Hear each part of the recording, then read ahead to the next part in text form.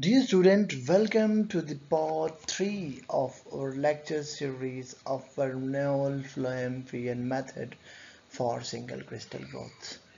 So dear student, in this part we will discuss about the processing steps involved in growing a single crystal using Verneuil flame fusion method okay? Student please note that we will explain the single crystal growth of synthetic gemstones step by step using Verneuil uh, furnace. And we will explain the Verneuil furnace and all the internal setup which is involved in uh, furnace by a schematic diagram So now just let's explain flame fusion method for single crystal growth with a schematic diagram. This is an internal overview, a schematic representation of internal overview of Verneuil furnace. Inside the Verneuil furnace there is a stand uh, on which a single crystal substrate is usually fixed.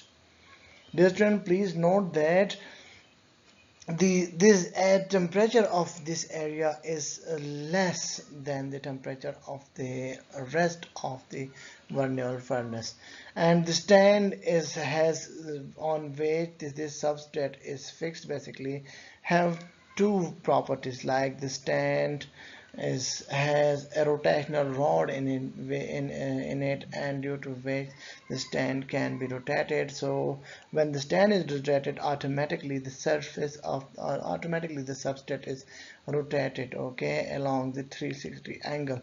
So due to the rotation of the substrate if the film uh, usually the, the material uh, so uh, or gemstone which is deposited on this uh, substrate or which is basically a seed material will basically uh, deposit uniformly. And also distant please note that this rod uh, is also connected with a setup which is basically moved downward okay? So it's, it's basically connected with a pulling setup which basically moves the rod downward. And in this way the, the gemstone the synthetic gemstone in form of single crystal are grown upward in a large amount scale okay?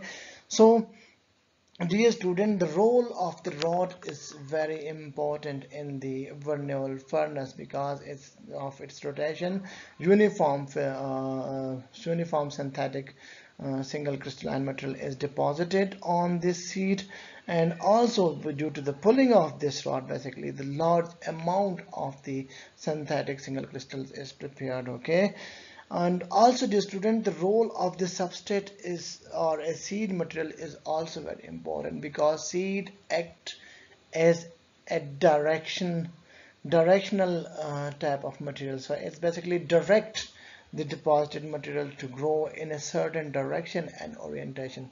So basically in Verneuil method or any single crystal growth method seed is a prototype uh, which is used have a certain orientation and direction okay? And and the, the deposited material will basically uh, arrange itself and direct itself according to the direction of the seed. So seed basically direct the deposited material to grow along its orientation and direction. Listen, please note that the purity of seed is very important in Verneuil, uh, Verneuil uh, uh, method because if the seed is impure, there is a possibility that the deposited material or deposited gemstone, gemstone, gemstone will have an impurity which will be incorporated through seed. So both the purity of the seed plus the direction and orientation is very important for deposition of the uh, synthetic uh, single crystals. The Verneuil funnel consists of a container okay? The, container is a pot in which precursor material is incorporated. So the dear student please note that the container part of the Verneuil furnace is also important. The melting point of container must be higher than the temperature inside the furnace because if the melting point of the uh, mm, uh, the container which is used in Verneuil furnace is low, then the Verneuil furnace uh, container will cause an impurity into the precursor material will be placed inside this container. So the melting point of the container is con considered in Verneuil uh, fume furnace process. This container is basically connected with a lid which is basically used to incorporate a precursor material inside this container okay so this is a kind of opening for the container dear student please note that Verneuil uh, method container is basically furnace container is basically connected with a kind of logs and these logs have a narrow uh, area from which only the precursor can be incorporated inside the furnace. So the rest will be placed inside the container. Only small amount will be passed through this narrow region and the other part of the container will be blocked. So basically small amount of the precursor will be fused and transported onto the substrate. This make the, the narrow part basically make it easy for the process process to melt. A small um, because of the small amount of precursor the small amount of the precursor melting is quite easy and can be easily transported onto the surface of the substrate this uh, Verneuil uh, uh, fume furnace basically consists of a oxyhydrogen flames. Dear student please note that. Oxyhydrogen flame this one play vital role in Verneuil flame fusion process because the melting point of gemstone which is in the powder form is placed in the container is quite high and only oxyhydrogen flame usually operate about 2000 degrees centigrade can easily melt this powder okay? So due to this crystallization become possible when the precursor material is melted and due to this oxyhydrogen flame is used. Basically distant please note that it was not possible if the oxyhydrogen stem was not available at that time. Because the temperature of oxyhydrogen flame is quite high and the melting point or melting temperature of the precursor material which is in the form of very fine powder of gemstone is also high. So only this uh, basically oxyhydrogen flame basically can cause the melting of the precursor materials. So precursor material in the form of small very small powder uh, with very high purity is placed inside the container. This is the precursor material with yellow kind of uh, circles okay? So they are basically placed inside the container. So since the whole of the container is narrow when the container is uh, vibrated small amount of the this precursor material basically precursor material is dipped and it's moved um, below the container okay somewhere here.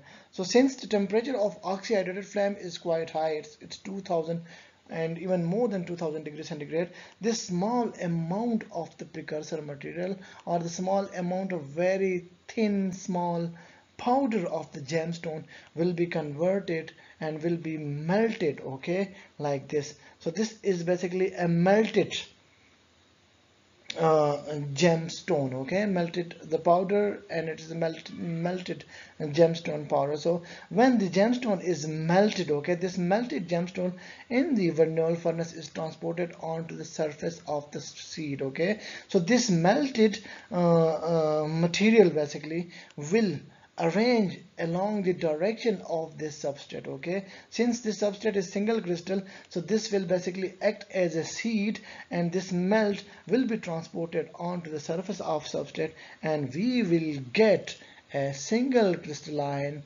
gemstone. And this in this way basically uh, Verneuil obtained uh, single crystalline uh, ruby uh, crystals okay? And the quality of that ruby crystal were far better than the available ruby crystals. And the Verneuil was basically a first scientist who introduced a first ruby uh, uh, single crystal okay? So dear student please note that there are some interesting factors we need to consider in Verneuil flame fusion process. Number one is the temperature of the flame oxyhydrogen flame. Please note that the temperature of oxyhydrogen flame must be according to the melting temperature of the of this precursor or the, the powdered gem okay so it should be closer to the melting temperature of the uh, this precursor material if the oxyhydrogen flame uh, temperature is quite high then the than the uh, precursor material then there is a possibility to damage this precursor material and it can cause basically defects uh, in the single crystalline uh, synthetic material. So both the temperature melting temperature of the uh, precursor material should be closer to the temperature of the uh, of the oxyhydrogen flame. And if the temperature is closer to the uh, to the temperature of the oxyhydrogen flame then the possibility of getting a very uh, good quality single crystal synthetic material is quite possible. And we can get high quality of synthetic material Another interesting fact to notice here is the, this narrow region of the uh, container, okay? The more with the narrow region of container, it will be easy for the precursor material to melt and it will be easy to deposit very well textured and oriented uh, kind of uh, oriented, oriented type of gemstone. Uh, another factor to notice here is the direction and orientation of seed. So basically, dear student, please note that the direction or orientation of this seed must be according to desired requirement, uh, like according to the gemstone which we want to prepare along according to direction of the gemstone which we want to prepare. So the direction of orientation of seed is also a very important parameter in Verneuil uh, method.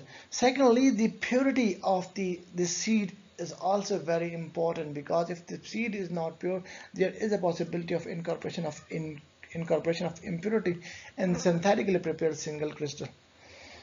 Another important factor to notice here is the rotation and pulling of the rod which is present inside the Verneuil furnace. So the rotation and pulling basically are playing very important and key role in Verneuil flame, uh, flame film process because if the rod is not rotation then rotate, rotating then there is a possibility of non-uniform deposition of this uh, melted uh, precursor material and there will be a non-uniformity in the deposited synthetic crystal. So for this rotation is very important.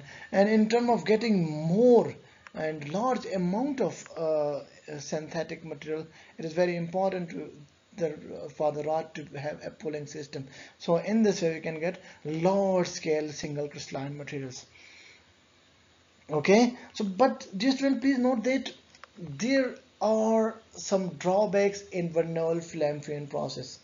Please note that the Verneuil flame fusion process is good in terms of quality and it is better than the Czochralski and uh, horizontal and vertical Bridgman processes. But the drawback with Verneuil flame fusion process is that it's operate about 2000 degrees centigrade.